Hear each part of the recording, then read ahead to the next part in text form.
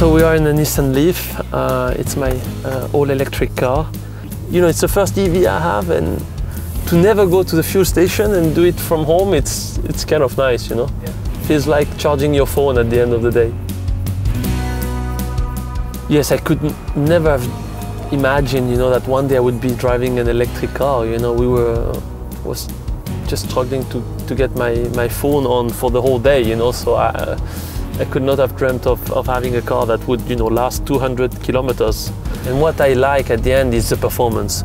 And today, the performances you, you have in electric car is, is pretty impressive.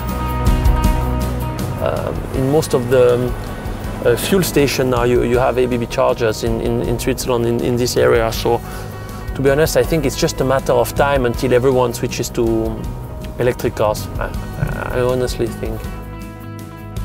Um, there is a, a fuel station on the motorway uh, quite quite close to here.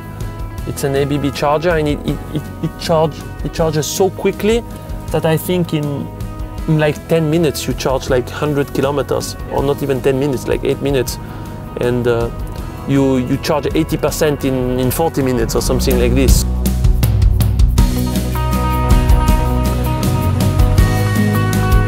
So here we are. Uh, we are here in my house, and that's my ABB uh, wall box.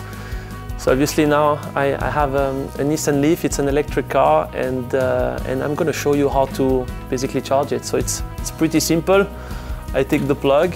Uh, I do open the car, and then uh, I just plug it in. Just wait a second.